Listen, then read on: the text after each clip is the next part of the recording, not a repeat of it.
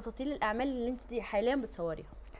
طبعا أنا لسه ب... لسه بعمل مسرحية لسه ما خلصناهاش. ومسلسل سيما ماجي أول مرة أول تعاون مع رانيا يوسف. عايزة أقول لك مبسوطة جدا جدا جدا إن هي يعني فنانة جميلة ومحترمة وذوق و... وحاسة إن أنا وهي ممكن نبقى يعني يعني ناس تحبنا مع بعض. وبعد كده مع الجميلة الجميلة مدام إلهام شاهين عندي فيلم مع أستاذ خالد الحجر اسمه الحب كله و... والمدرسة. المدرسة آه هينزل بتهيألي أول حاجة بعد آه يعني بعد ما يخلص بس إحنا لسه ما خلصناش يعني. ومعايا ميدو فايد أول بطولة ليه معايا. فبرضو أنا مبسوطة قوي بالفيلم ده. خلينا ما شاء الله نمسك الخشب الأول كده ونتكلم عن عمل عمل. سيما ماجي دورك إيه؟ لا ما بصي مش هنحرق التفاصيل بس نقول كده. ماجي مبدئيا اسمك ماجي. أيوه صح. عايشة قصة حب ودكتورة صح كده ولا المعلومات اللي لا أنا دكتورة بس ما أنا المشكلة المشكلة إن أنا مش عارفة مش عارفة هيهزقوني. هتدينا هتدينا حاجة قصه كده صغيرة. يعني أول مرة أعمل الدور ده ما عملتوش قبل كده ولا حتى دور شبهه.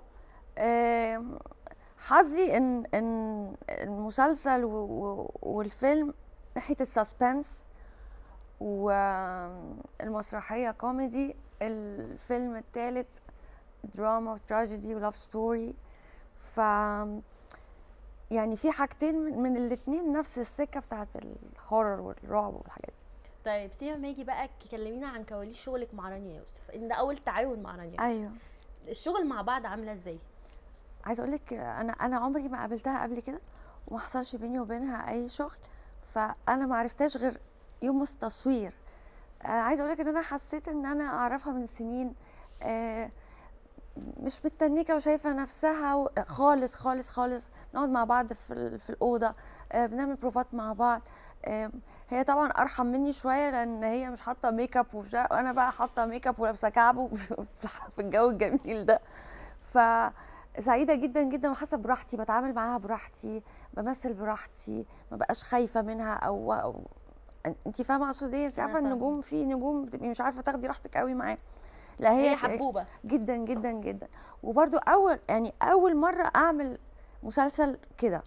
طيب. عايزين بقى نتكلم على الفيلم مع أستاذة إلهام شاهين. بس مدام إلهام شاهين أنا من أقرب الناس لقلبي ومن الناس لما كان عندي الأزمة بتاعتي كانت هي دايما تسال عليا وبتكلمني.